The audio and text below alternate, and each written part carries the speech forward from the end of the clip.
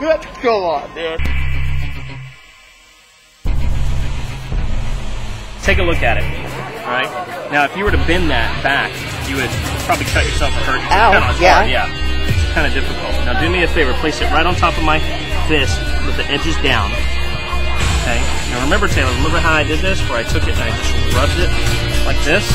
Watch. if I got it, I'd be out here doing it. That'd be great. I'd have a great job.